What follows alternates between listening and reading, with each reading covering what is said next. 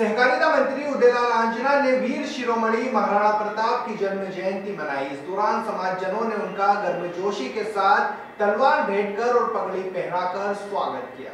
सर्व समाज और नगर पालिका निम्बाहेड़ा के संयुक्त तत्वावधान में सुबह स्मरणीय वीर शिरोमणि महाराणा प्रताप की चार जन्म जयंती के अवसर पर गुरुवार को सुबह 11 बजे राजस्थान सरकार के सहकारिता मंत्री उदयलाल आंजना के मुख्य आतिथ्य में निम्बाहेड़ा में उदयपुर रोड स्थित प्रताप सर्कल पर पुष्पांजलि कार्यक्रम और प्रतिभा सम्मान समारोह आयोजित किया गया।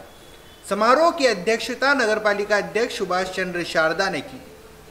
समारोह स्थल पहुँचने पर मुख्य अतिथि मंत्री आंजना और अतिथियों का सम्मान ढोल नगाड़ों के साथ आतिशबाजी कर स्वागत अभिनंदन किया।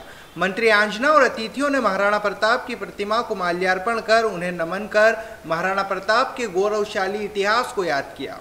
मंत्री आंजना के मंच पर पहुँचने पर विजय स्तंभ, स्मृति चिन्ह और तलवार भेंट कर कमर बंद, बाँध कर मेवाड़ी पगड़ी पहनाकर, उपरना उड़ाकर महाराणा प्रताप की तस्वीर भेंट कर गर्मजोशी के साथ स्वागत किया।